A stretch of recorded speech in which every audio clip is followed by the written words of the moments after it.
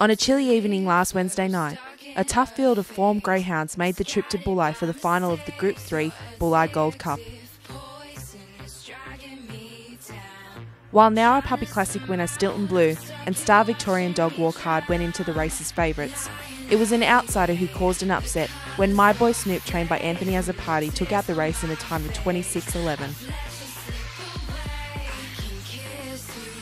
Racing, Stilton Blue came out running. He's charging. So is Unleashed a Fear. My boy Snoop holding third. Then Walk Hard, highly respected. Gradens. They'll followed up by My Awesome Apple. Knockers return at the tail. We've got a real good race. Stilton Blue by two to Unleashed a Fear. My boy Snoop the danger to the leader. Stilton Blue in the lead. My boy Snoop coming. Stilton Blue grabbed by My boy Snoop. My boy Snoop won the cup. Beat Stilton Blue. Uh, Anthony, congratulations congratulations, fantastic run. Uh, did you think though that it had uh, gone out of your grasp?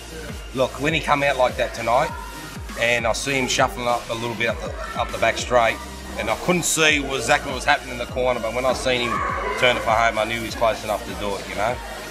And uh, what were your emotions when he was coming down that uh, down the straight? Must have been a wonderful moment.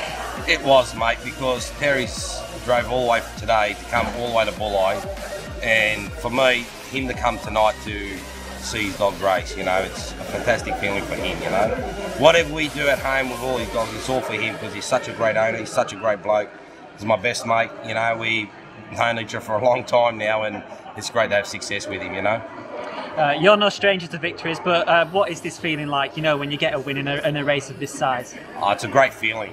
Every group race is icing on the cake, you know, and um, tonight was a great feeling mate, it's undescribable, honestly. It's something you can't really describe. It's that much joy inside you, but it sort of don't hit you straight away. But tonight it sort of hit me a little bit, you know. So, no, look, very exciting. It's overwhelming, it is.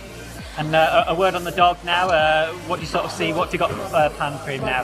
Um, well, I'll go to Victoria this. Uh, sorry, on Sunday I'll leave to go to Victoria with him. I'll bypass the Peter Mossman. There's a few races at Sandown I want to put him in um, a couple of fifth grades there. So that's the aim. So end of the year, the Melbourne Cup and all that, you know, that's all the plans. So we'll get him used to the meadows and Sandown. When it's time to go down there, at least he's had a few races and a few trials, you know. Do you think he can be a contender at those big races? Most definitely.